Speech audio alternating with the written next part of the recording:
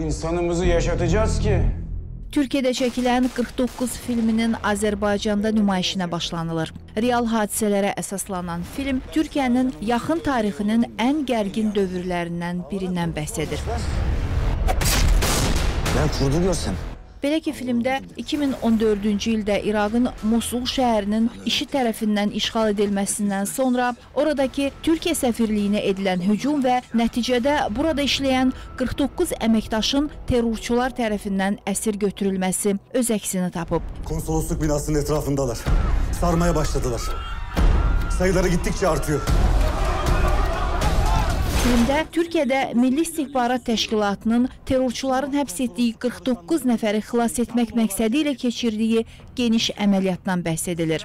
Filmin müddəti 130 dəqiqədir və baxmaq üçün yaş həddi 16-dan yuxarıdır. Kimi yolladın? En iyi adamım. Gece yarısı tam 12'de başlıyoruz. Kapıda nöbetçiler var. Ağır silahlı. İçerisi kalabalık belli ki. Sağlam girmek lazım.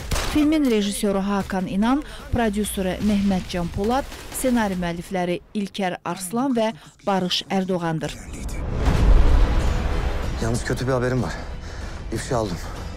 Buradan acil çıkış yapmam lazım. Oğuz hemen kasabanın kuzey tarafına hareket et hemen. Operasyonla olacak iş değil başkanım.